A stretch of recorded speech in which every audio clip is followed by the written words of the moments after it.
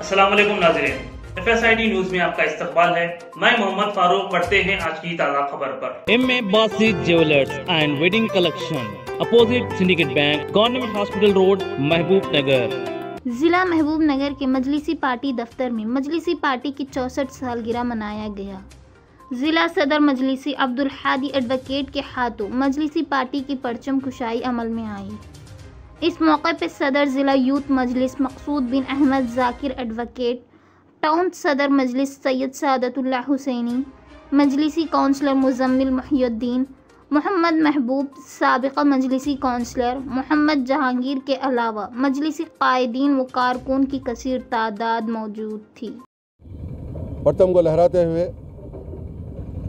हमारे उन कायदीन की खिदमत को सलाम पेश करते हैं।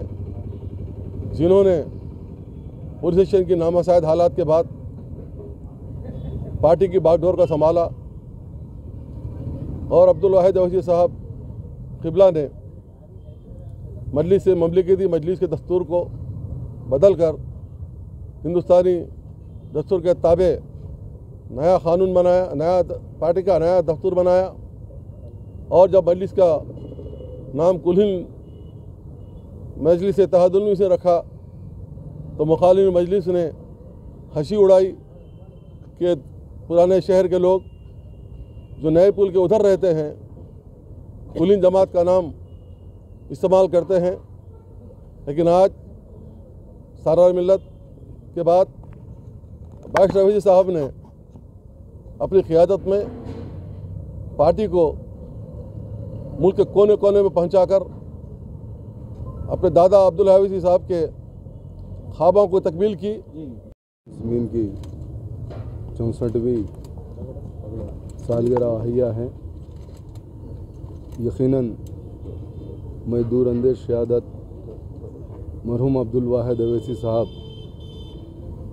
एडवोकेट को सलाम करता हूँ, खराज अकीदत पेश करता हूँ, जिनकी दूर अंदेश शहादत ने आज मजलिस इतिहाद मुस्लिम को चौंसठ साल में मुसलमानों को तरक्की की तरफ़ गामजन की है।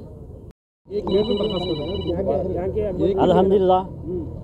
आज मजलिस इतिहादुलमसलिमिन के चौंसठ बरस की तकमील पर मैं तमाम मजलिसी कायदीन और मुहिबान मजलिस को मुबारकबाद देता हूँ और साथ ही साथ फ़ख्र मिलत रहमा वाहिद अवैसी साहब और सालार मिलत सुल्तान सलाउद्दीन अवैसी साहब और उनके साथ जो शाना बशाना, जो चौंसठ बरस पहले जो अज़म के साथ मजलिस इतिहादुलमसलिमिन को संभाला, उन तमाम को मैं खराज अकीदत पेश करता हूँ। जो वाहिद अवैसी साहब ने कुलिन मजलिस इतिहादुलमसलिमिन का चौंसठ बरस पहले जो ख्वाब देखा था, आज वो नकीब मिलत अलहाज बैरिस्टर रसोद्दीन अवैसी साहब की शक्ल में आज पूरा हो रहा है। अगर आप हमारा ये वीडियो यूट्यूब पर देख रहे हैं तो सब्सक्राइब करना ना भूलें और बेल आइकन दबाएँ। और अगर आप हमारा ये वीडियो फेसबुक पर देख रहे हैं तो पेज को लाइक करें और फॉलो करें।